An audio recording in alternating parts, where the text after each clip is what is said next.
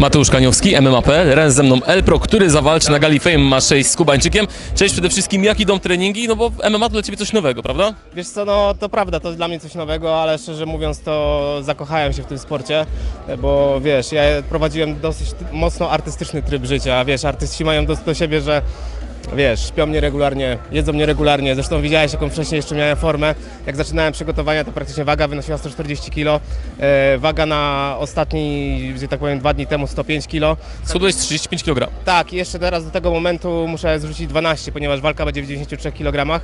No i bardzo się cieszę, szczerze mówiąc, z tego, e, co się wydarzyło, już nie, nie patrząc pod kątem jakby samego Fame MMA, tylko tego, że człowiek się wziął jakby za siebie i wiesz, jakby znalazłem coś oprócz muzyki, co mnie, że tak powiem, motywuje do dalszego rozwoju, że tak powiem. Przy, przyz- przyznam szczerze mówiąc, że, że i samo MMA, i boks to jest coś zajebistego dla mnie, no nie? I wiem, że będę to robił niezależnie od gal, dalej. Nie jest tajemnicą, że bardzo dobrze znam się z Kubańczykiem i wiem, że on Cię nienawidzi z całego serca, a jak to wygląda u Ciebie? Słuchaj, powiem Ci tak, e, ja nie wiem, czy on mnie nienawidzi z całego serca, mi się zdaje, że tylko tak i wy- i wyłącznie mówi. Jakubę zawsze traktowałem jak młodszego brata i do czasu, e, kiedy nasz konflikt się zaczął, że tak powiem, czyli on jakby zaczął współpracę z kamerzystą po tym, jak ja chwilę wcześniej z nim współpracowałem, to nasze relacje były bardzo spoko, wiesz, ale po prostu w pewnym momencie Kuba musiał wybrać, tak jak sam się przyznał naszemu wspólnemu koledze, wiesz o co chodzi, musiał wybrać fame i high, że tak powiem, dlatego poświęcił po prostu znajomość ze mną. I teraz tak gada, ale sam mi powiedział otwarcie, że żałuje wielu rzeczy, które się wydarzyły w zeszłym roku na tej zasadzie. Ja, wiesz, oczywiście rozumiem to, że jesteście, jesteście dobrymi kolegami, wiesz, ja No, obiektywnie. Wiesz, ja byłem z, z Kubą e, dobrymi kolegami przez 2,5 roku, wiesz o co chodzi na tej zasadzie i na nikim się nie zawiodłem tak bardzo jak na nim.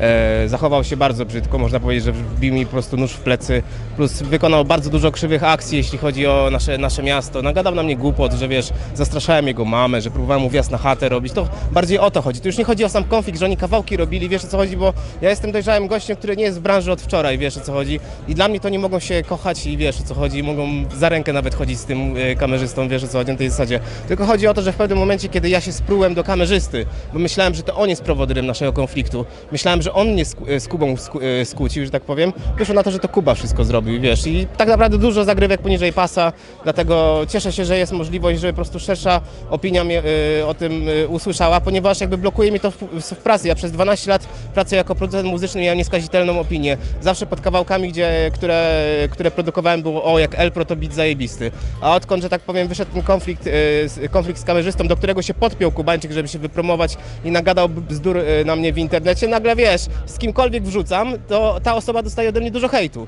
Dam Ci przykład, na przykład mam z sobotą zajebisty kawałek, nie wrzucam go, bo inaczej dostałbym sporo hejtu, wiesz o co chodzi. Mam z innymi raperami, po prostu to mnie blokuje, dlatego tu jestem. Powiem Ci szczerze, że jestem bardzo ciekawy Waszej rozmowy na konferencji, kiedy będziecie mogli razem rozmawiać, z tego powodu, że przedstawiacie zupełnie dwie inne wersje. Ty mówisz zupełnie co innego i Kubańczyk mówi zupełnie co innego, a gdzieś ta jednak prawda musi się na środku spotkać. No właśnie, prawda jest, prawda jest tylko i wyłącznie po mojej stronie, ponieważ ja na początku tego konfliktu, który miałem z kamerzystą, chciałem w- również Kubę zabrać do tego projektu, żeby się dalej przy tym rozwijał.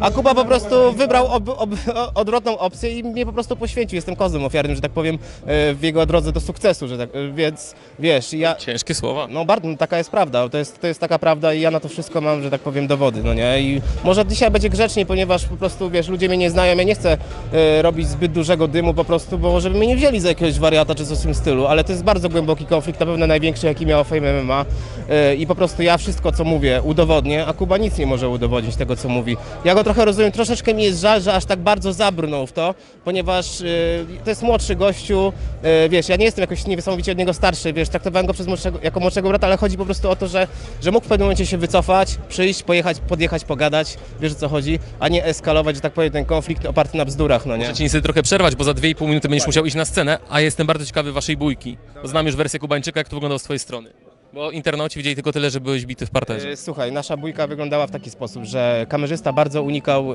e, ze mną kontaktu. Chciałem właśnie wyjawić ten, wyjaśnić ten wątek, o co chodzi z tym, że poszła plotka na Stargardzie, że ja niby zastraszałem mamy Kuby. Wiesz o co chodzi. I, I kamerzysta bardzo długo nie otwierał mi drzwi w ogóle, aż w końcu mi otworzył, wiesz o co chodzi.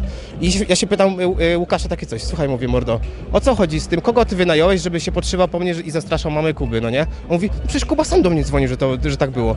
A ja się spotkałem, wiesz, mamy Kuby, no nie? I ona powiedziała, że takie akcje w ogóle nie było. Kubańczyk wymyślił to po prostu, żeby nas skłócić między sobą. Ja wtedy sobie powiedziałem, że to jest stop. I Kuba podsłuchiwał naszą rozmowę, wiesz o co chodzi? I mnie wyzwał na pojedynek po prostu. On był tydzień przed walką e, z Boxdelem. I powiedział do mnie, e, dawaj, wychodź ze mną na solo, wiesz, a jestem charakterny po prostu i wiesz, wiedziałem, że jadę tam przegrać, że tak powiem, ale wiesz, ale wiesz, jeżeli, jeżeli mnie wyzwał, no to pojechałem, po prostu, a on to ubrał w jakąś historię, że on mi się, że on mnie, e, wiesz, pobił na bloku, że on tak załatwia sprawy, a tak naprawdę wtedy właśnie między mną a kamerzystą się wyjaśniło, że to Kuba nas skłócił, wiesz o co chodzi? I Kuba po prostu, że tak można powiedzieć, pobił mnie troszeczkę, szczerze mówiąc, z tego względu, że żeby się przed nim wybielić, wiesz o co chodzi, ale fakty są takie, jakie są po prostu. Ja wyszedłem charakternie, dostałem, ale szczerze, nie zostałem znokautowany. Po prostu czułem, było tak, że zaczęliśmy w stójce, czułem, że ma bardzo mocne kopnięcia, wiesz o co chodzi, próbowałem zejść w parter nieudolnie i on do mnie dosiadł. I szczerze mówiąc, dwie minuty na mnie siedział i okładał mnie łokciami i kurwa yy, pięściami. I szczerze ci powiem, jako chłopak, który teraz trenuje bardzo ciężko, nie wiem jak on przez dwie minuty nie potrafi mnie znokautować, a na końcu jeszcze sprzedał mi, że tak powiem, soccer kicka w twarz, no nie, wiesz o co chodzi, a potem i od razu po tej solówce napisał szacun, tak się powinno załatwiać sprawy w rapie, a parę dni później była tutaj konferencja i zaczął mówić, że zrobił mi dziecko, że mnie rozjebał na bloku, gdzie to nie było na żadnym bloku, to było pod chatą kamerzysty, wiesz o co chodzi. To jest ogólnie grubszy taki temat, powiem ci, że jak ja bym na miejscu Kuby się zastanowił, czy on powinien w ogóle do tej walki doprowadzać, bo ja to wszystko ujawnię po prostu, wiesz o co chodzi, bo tu chodzi o to, że to wpłynęło na moją jakby reputację, na to, na całą moją rodzinę, że tak powiem, wiesz, bo to wszyscy bardzo mocno odczuli. Ja musiałem się ze swojego miasta wyprowadzić, bo ludzie mnie uznali jakiegoś w ogóle wariata, gdzie ja, wiesz, stary, zawsze miałem nieskazitelną opinię, a nagle jesteś uznany za, wiesz, jakieś dzieciaki 10-12-letnie mi wyzywają Eldno. Wiesz o co chodzi na tej zasadzie, wskazują mi palcem, ktoś mi po drzwiach pisze, wiesz o co chodzi na tej zasadzie, normalnie w moim prywatnym miejscu, gdzie mieszkałem, wiesz o co. No stary, to naprawdę nabrało takiej skali, no to było tak, Kubańczyk mnie wyzwał, Wiesz o co chodzi na pojedynek? Wyszedłem, dostałem, ale sam wstałem, nikt mnie nie znosił. Przejechałem, że tak powiem, 50 km na tą solówkę, dostałem i pojechałem sam o własnych siłach. I szczerze mówiąc, to nie. Właśnie przez to, że wtedy ja byłem w zerowej formie, Kuba był w najlepszej formie i wiem ile ciosy jego wtedy ważyły, dlatego ja teraz tym bardziej się go nie boję po prostu, wiesz o co chodzi. Ja na przykład jak zobaczyłem przed chwilą jaki jest kurs na mnie, to się aż uśmiechnąłem, co nie? I wiesz, powiem Ci tak, cieszę się, że mogę, mogę zacząć przygodę z tym z MMA i w ogóle i cieszę się, że zaczynam z takim, na tak wysokim poziomie, akurat jeśli chodzi o Kubę, ponieważ to jest zawodnik, który ma ze sobą dużo, bodajże 10-11 walk w K1 i to jest zawodnik, który po prostu jakby się bardziej przyłożył, nie poszedłby w narkotyki, no to by tak naprawdę mógł być jakimś zawodnikiem typu na KSW czy coś w tym stylu, co nie? Dlatego cieszę się, że jeżeli mam przegrać, że tak powiem, pierwszą walkę, to wolę przegrać naprawdę z porządnym zawodnikiem, bo potem jeszcze jest olejnik, Ale zakładasz, że przegrasz. Nie zakładam, że przegram.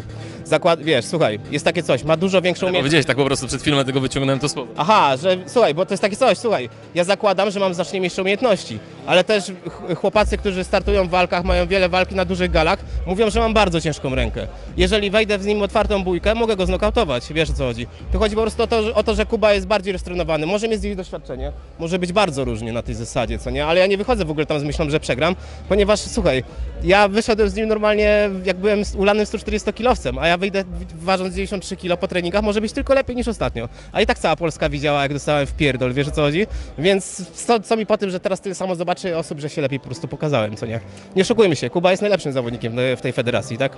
Nie oszukujmy się, też tak pewnie uważasz, no nie, jeśli chodzi o umiejętności, no nie? jest kilka osób na zbliżonym poziomie. Musimy kończyć, ponieważ oni cię wzywali za chwilę, a ja powiem tylko tyle, że jestem mega ciekawy dwóch stron, bo jak widzę, jak Elpro opowiada o tym emocjonalnie i wiem, jak Kubańczyk do tego podchodzi emocjonalnie, mam wrażenie, że jeszcze nawet bardziej, to słuchajcie, wywiady ze strony będą bardzo ciekawe. Wywiad z Kubą na moim kanale, ten na MMA.pl. Oglądajcie dalej. Dzięki wielkie i powodzenia na konferencji. Dziękuję bardzo. Dziękuję bardzo.